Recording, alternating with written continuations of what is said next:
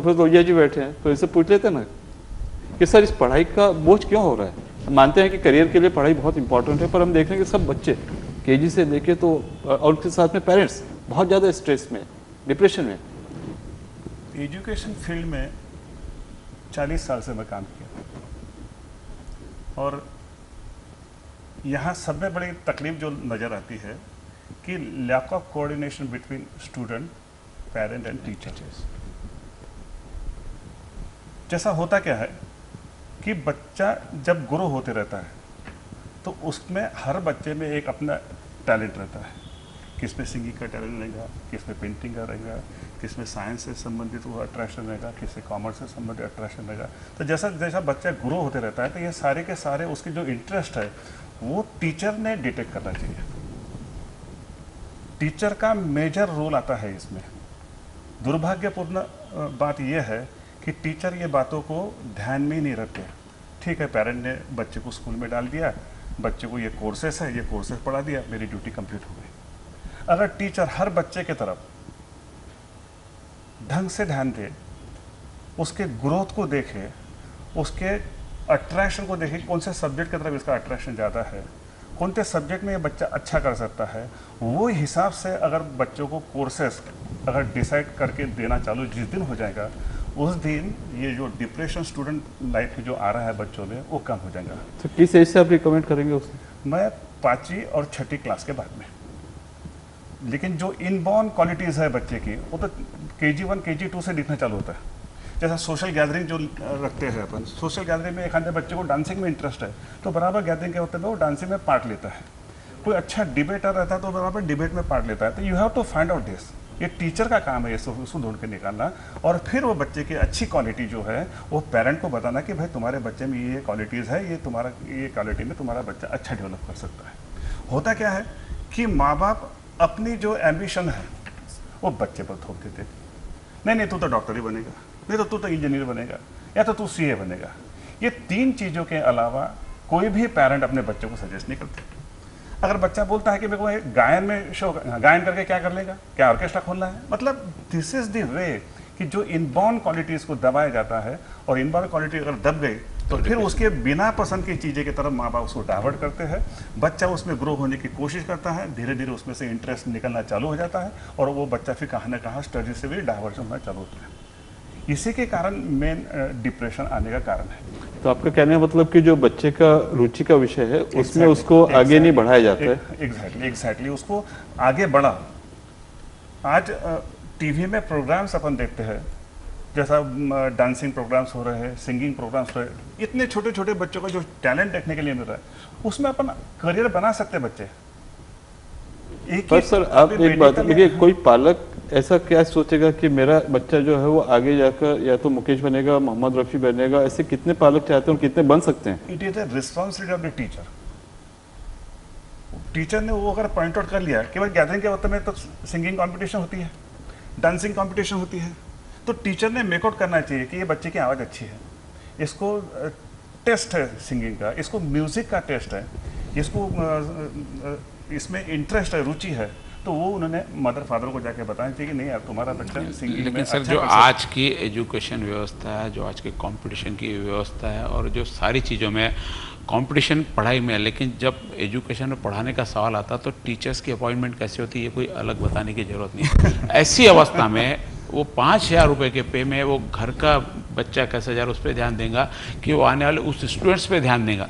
इस चीज़ों को क्या होगा, ये जो आपने बताया कारण एकदम सही है, लेकिन इसका निदान क्या टीचर्स के माध्यम से सही में हो सकता है? क्या टीचर्स के लिए संभव है कि उस पर ध्यान दे हुए बच्चे पे हो टीचर्स की अपनी परेशानियाँ होती है।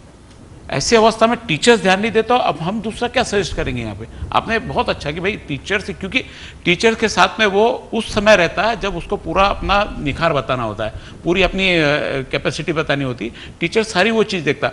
घर में आए कि माँ बाप सीधे पूछेंगे क्या पढ़ा है? होमवर्क दिया क्या? होमवर्क कर ले, जाके पढ़ने बैठ जा, खाना खा ले, सो जा। टीवी देखना नहीं खेलने जाना नहीं। एक खेलने जाना नहीं ये शब्द हर माँ बाप के इसमें रहता तो इसके लिए उसका जो एक्चुअली बचपन का ग्रोथ होना चाहिए वहीं से दबाते चल जाते तो ऐसी अवस्था में टीचर्स का जो ओवरऑल बता रहा है ऐसे कितने टीचर्स आपकी नज़र में प्राइमरी के प्री प्राइमरी के जो इस क्षेत्र में काम करते होंगे? दुख की बात है। एक परसेंट भी नहीं।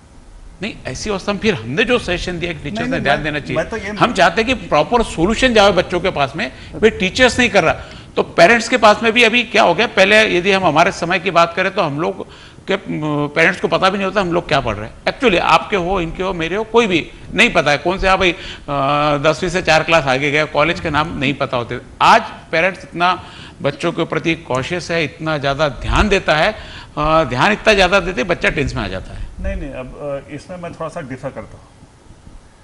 पेरेंट्स लोग ध्यान देते यहाँ पर तक के ठीक है। ध्यान देना चाहिए यहाँ पर तक के ठीक है। लेकिन जो प्रेशराइज करते हैं। जी। जब मेरे को मालूम है कि मेरा बच्चा 55 परसेंट वाला है तो पेरेंट्स लोगों ने वो ध्यान ऐसा देना चाहिए कि भाई मेरा बच्चा 55 परसेंट से 60 पर कैसा पहुँचे 65 पर कैसा पहुँचे 70 पर कैसा पहुँचे। ये पेरेंट का सोचने का काम है लेकिन पेरेंट सोचता क्या 55 से मेरा बच्चा 90 परसेंट पर कैसा पहुँचे। तो फिर घर में सारे चीज़ों पर उस पर रजिस्ट्रेशन लगा दिया जाता है उसका बचपन खत्म किया जाता है।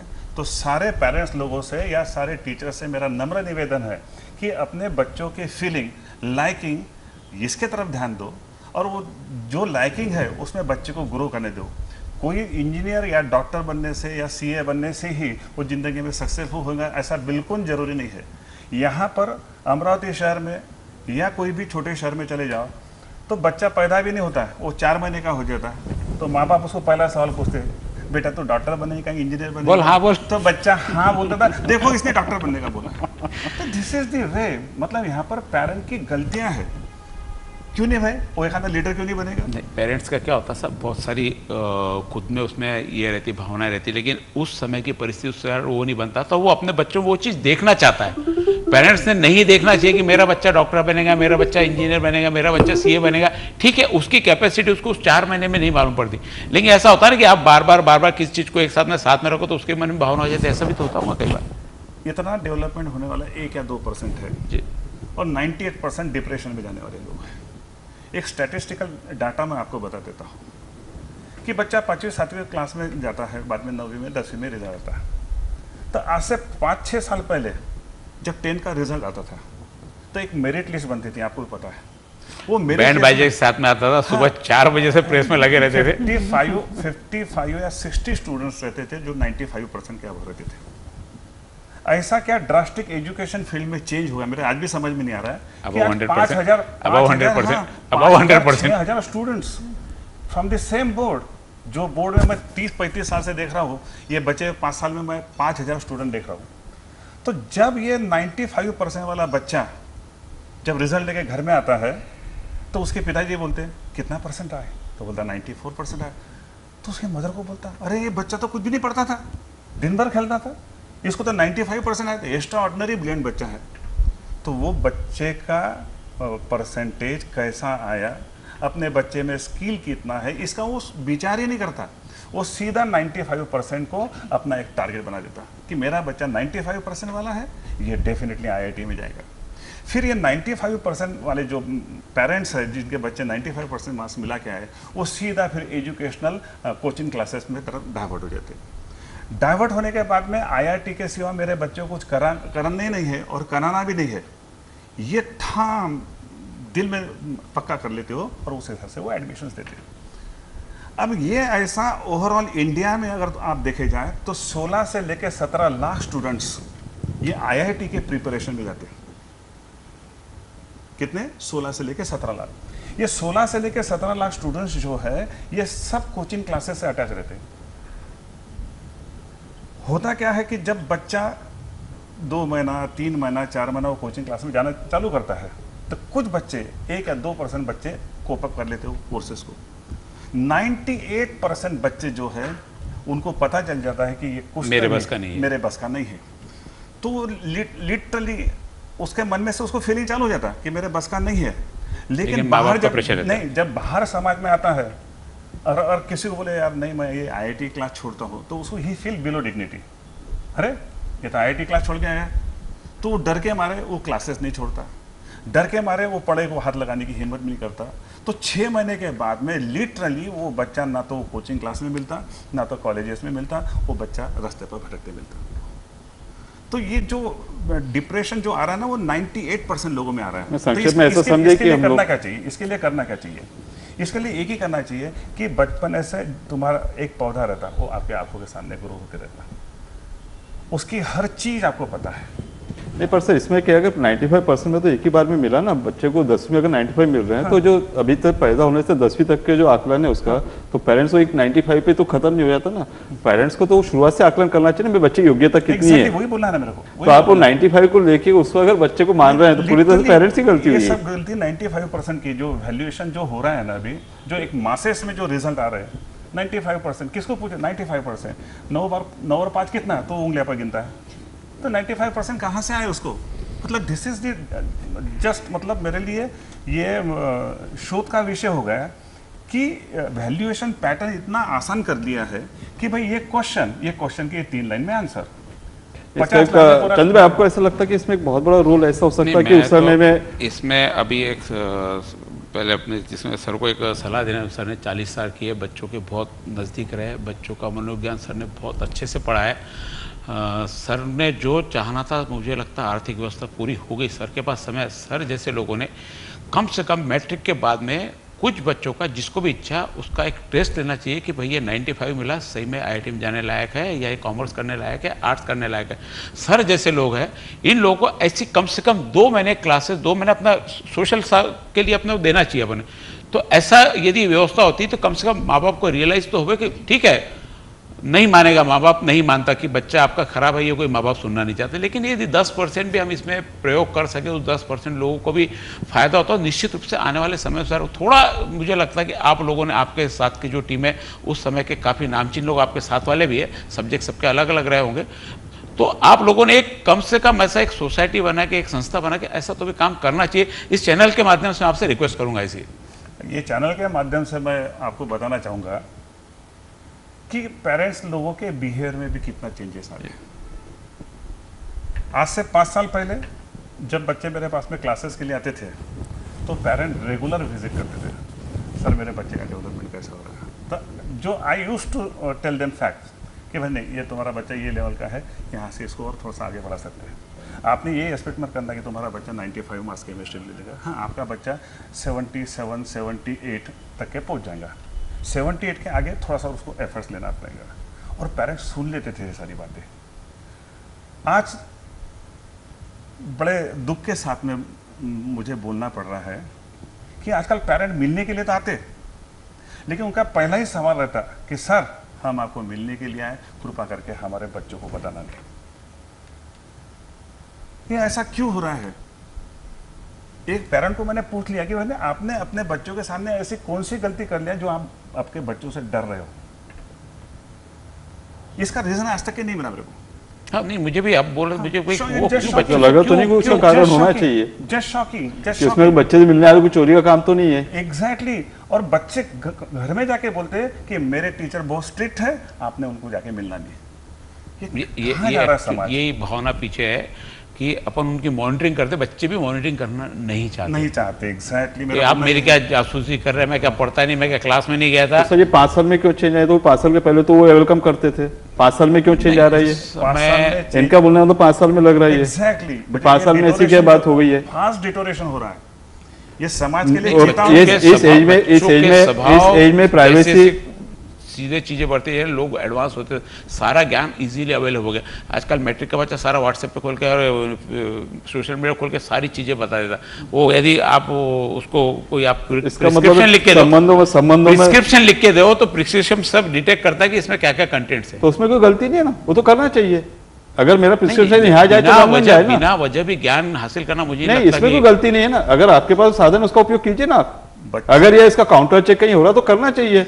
अगर सर की अगर कहीं गलती हो तो मालूम होना चाहिए मेरी कहीं गलती हो तो मालूम होना चाहिए अगर उसका ज्ञान वहाँ पर एक, है। एक एक हर चीज़ को एक समय एक एज एक उसकी मेच्योरिटी सब चीज़ बात करते नहीं, पर ये बात- हर ये चीज़ बात- में हर चीज़ में दखल अंदाजी हो जाती है फिर जो मूल सब्जेक्ट उसका पढ़ाई की तरफ़ ध्यान देना उससे ध्यान भटक जाता है। मेरा एक बोलना है आपको। पेरेंट्स अपने बच्चों को ब्रॉटअप करने में गलती कर रहे हैं। गलती कर रहे हैं। बच्चों के इमोशंस के साथ में लिटरली उनका कोई लेन-देन नहीं। लेन देन नहीं है। रिज़ल्ट चाहिए उनको। रिज़ल्ट चाहिए उनको। एक दूसरा हर चीज़ पैसे के तराजू में तोल देते पेरेंट्स लोग। केमिस्ट्री का सर का नहीं समझ में आ रहा है? ये पैसे ले दूसरे टीचर के पास में देगा वहाँ पर भी समझ में आ रहा है? ये पैसे ले तीसरे टीचर के पास देगा तो बच्चे को एक्सक्यूजेस मिल जाते हैं ये सब करने के लिए। केमिस्ट्री में कम मार्क्स क्यों आए? वो लोहिया सर के क्ला- क्लास में जाता था मेरे को लोहिया सर बहुत हाई फाई पढ़ाते हैं उनका समझ में नहीं आ रहा अच्छा ठीक है, ये पाँच सौ रुपये हज़ार पाँच हज़ार रुपये ले ले, दूसरे टीचर के पास में जाओ। फिर केमिस्ट्री में रिज़ल्ट उससे खराब आता ये क्यों नहीं आया ये टीचर को बराबर पढ़ाते नहीं आता ये लड़कों की हिम्मत बढ़ गई ये सब बोलने की। बच्चा अपने फेल्यूर टीचर पर थोपने लग गया। पेरेंट अपना बच्चे का फेल्यूर भी टीचर पर थोपने लग गया। अब लिटरली ये टीचर की कंडीशन ऐसी हो गई कि इतना सारा सब करने के बाद भी, फिर वो टीचर एक लेवल पर आके फिक्स हो जाता मेरे को क्या पड़ी है फिर समाज की? जब उसके माँ बाप ही मेरे को कोऑर्डिनेट करने के लिए तैयार नहीं है, उसके माँ बाप भी मेरे को कुछ पूछने के लिए तैयार नहीं है तो फिर मैं क्यों करूँ? तो ये भावना जो आई है, ये पाँच साल में बहुत ड्रास्टिक वे से आई है। यहाँ कहाँ ना कहाँ स्टॉप करो। तुम्हारे बच्चे की तबीयत ठीक नहीं है तो डॉक्टर के पास में भेज के तुमने मेडिसिन दे दिया, इतने से तुम्हारा फ़र्ज़ खत्म नहीं हुआ। वो बच्चे के साथ में टाइम शेयर करो। बेटा आपको ऐसा लग रहा है वो बुखार है। एक घंटा बैठो उसके पास में। उसके बाद में टाइम शेयर करो। तो वो तुम्हारे फीलिंग की कदर करना चालू करेगा और फिर वो वैसे ही ढलेगा जो पेरेंट को चाहिए। कि उसको लगा मेरे पापा मेरे लिए इतना कहते हैं खैर वो तो बात सही है ना। अगर पेरेंट्स को खुद के मन में पैसों के प्रति ऐसा है कि पैसे की कीमत नहीं और पैसों को इतना महत्व दे रहे हैं तो बच्चों को संस्कार आएँगे ना। ये पाचर कीमत ने तो ऐसे फेंके जा रहे हैं कि अभी दे रहे वैसे दे रहे without knowing the reason without knowing वो तो फिर बाईस की मैंने तेरे लिए बीस हज़ार खर्चा हाँ, किया। मैंने तेरे. पचास हज़ार खर्चा किया